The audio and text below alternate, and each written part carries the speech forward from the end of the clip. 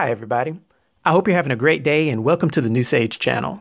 In this video, I'm going to be covering Iron Man's Endo-Sym armor, which also goes by the name Armor Model Number 50, and I personally tend to call it just the Symbiote armor.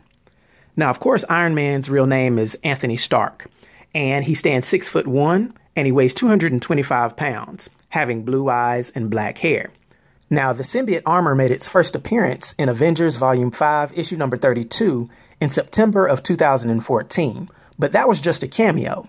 He made his first full appearance in Superior Iron Man issue number 1 in January 2015. Now, the backstory of this armor is that following the inversion spell, which altered his moral axis, Tony Stark moved to San Francisco where he planned on transforming the city into a utopia using the Extremis 3 app.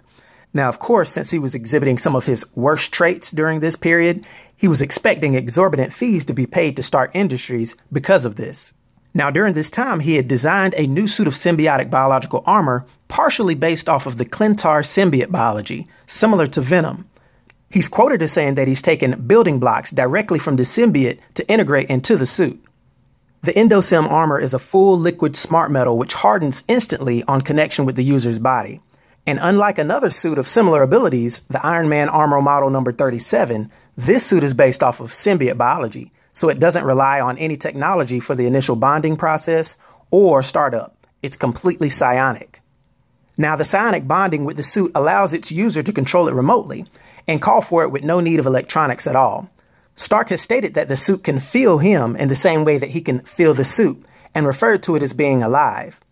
This connection extends to the point of it forming fully into a humanoid form that has similarities to that of a symbiote suit even when not bonded to someone, even being able to punch through barriers in an attempt to get to its owner at psionic command, but it does not have intelligence of its own, only a psionic link.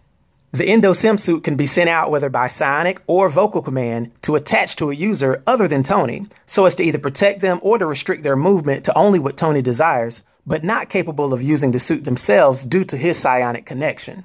This armor's repulsors are a white blue in color, but when he's preparing to attack someone, they switch to a red for an air of menace.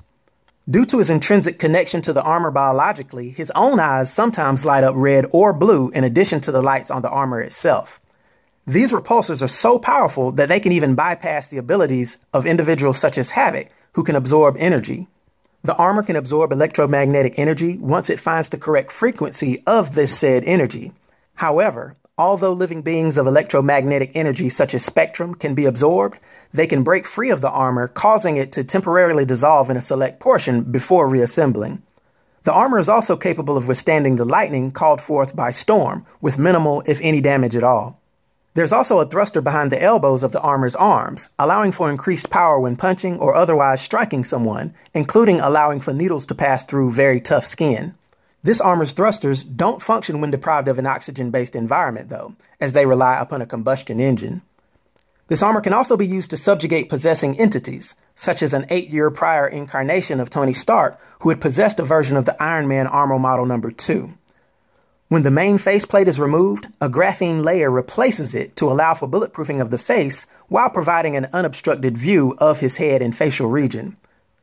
The armor can also have more of its forming compound added to increase its size, granting it a Hulk-like appearance and physique.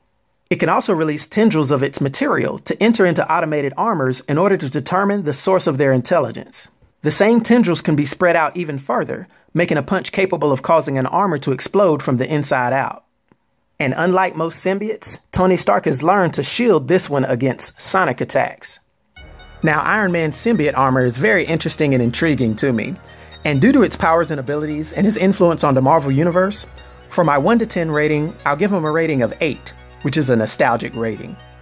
I hope everyone enjoyed the video. I'll talk to you next time. Be sure to like and subscribe to The New Sage.